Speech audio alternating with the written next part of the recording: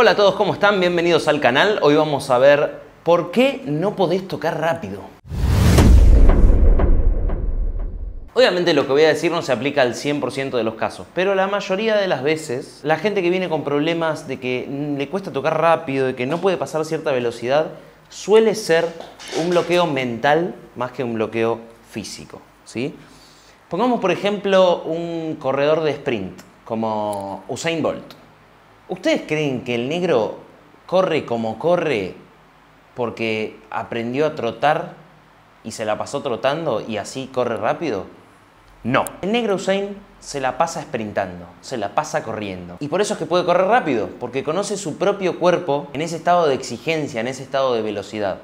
Lo mismo va a pasar con nosotros. Y no estoy diciendo que esté mal que practiquemos las cosas lentos. Si nosotros queremos hacer un pasaje, por ejemplo.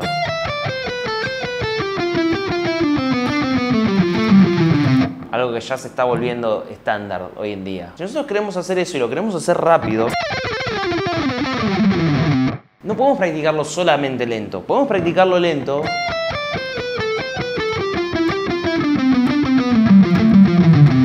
Para ver cómo vamos a mover la púa, qué movimiento vamos a hacer con los dedos, qué dedos vamos a usar. Pero una vez que ya tenemos claro lo que vamos a hacer, tenemos que intentar tocar a una velocidad más elevada ver cómo reacciona nuestra mano frente a una velocidad más alta.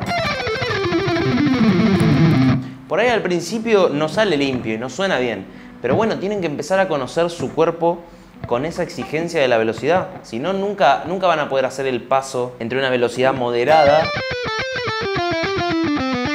y una velocidad rápida.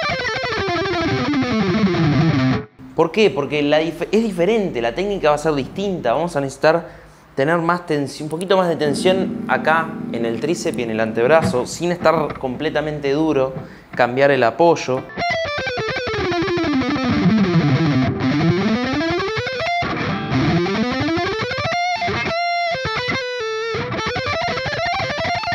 Bueno, espero que les haya servido. Eh, intenten tocar rápido, sáquense el miedo. Eh, no es imposible, no es algo que algunos pueden hacer y otros no, todos lo podemos hacer. Si ustedes quieren tocar rápido y sienten ese, ese deseo, traten de hacerlo, traten de hacerlo y vean cómo responde su cuerpo a ese estímulo. Después más adelante vamos a poder ir perfeccionando esa técnica y ver cómo controlamos la mano y qué cosas podemos hacer para que suenen más limpio. Eso es todo por hoy. Si les gustó el video, suscríbanse al canal, denle like y comenten.